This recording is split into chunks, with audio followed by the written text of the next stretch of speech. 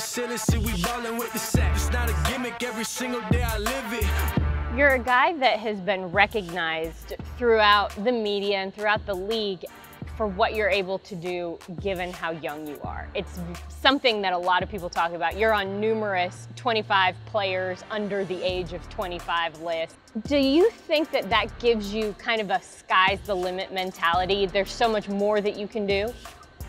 I'm honestly, you know, it's just me being, you know, honest. I, I look at that stuff right there and it motivate me a little harder because like if you're not first, you last. And I feel like, you know, eh, you see these top 10 D linemen, you know, that's not good enough. You know, I, am not, you know, I see it like, you know, I want to be the best. And I'm, I wake up in the morning, that's my mindset. Like, I'm, I want to be the best, and you know, I'm going to be the best. So, how do you spread that mentality that I don't want to be top 10, I want to be number one? How do you spread that to your teammates? I mean, it just shows, you know, um, as they see, like, you know, we got a lot of great players on this team, and you know, I'm sure a lot of these guys, you know, probably want to be the highest paid at their position eventually, you know. But at the same time, you know, just about every day I come in this building, you know, they know that they see this, they see the same thing that we see, um, you know, because it's, it's, social media, everyone see it, and of course they see it. So just by me putting my head down, coming to work just like, you know, I'm just my first day here, that I don't know nothing.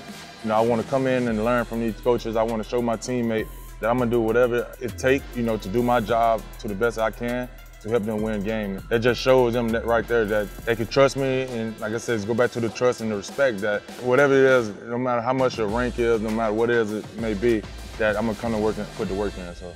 Now you're a leader amongst the Tennessee Titans, but you're also a leader in the community and you have a camp back in Starkville, Mississippi that you've put on what, two years in a row now. Two years in a row.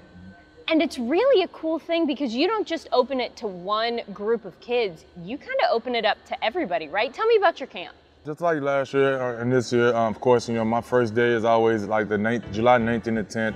Now the first day it's kind of like be like first through eighth graders. Um, the second day, which is Saturday, 9th and up. You know, I just, you know, when you think about it, I know me personally, I didn't kind of have that growing up. You know, you didn't have that role model in the community that actually played sports on a high level. You know, you always looked up to all these other guys that you really didn't know, or you know, I kind of looked up to my uncle who played in the league. But you got these younger kids who are looking up to NFL guys because eventually, you know, they playing this little league football. They want to be in our shoes.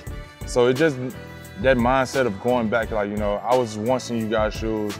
Know, take advantage of all the opportunities, especially with because I had a lot of NFL guys who come back and help me do my camp, and it just you know there's opportunity to give back. And I think that's always been my thing. You know, I always wanted to show the kids that you know no matter where you come from, no matter what it be, no matter what it is, you know, always never forget where you came from. And, and like I said, I was once in them kids' shoes, and like, I'm I'm grateful. You know, just that God put it on my heart each and every year, no matter what it may be, to give back to the kids.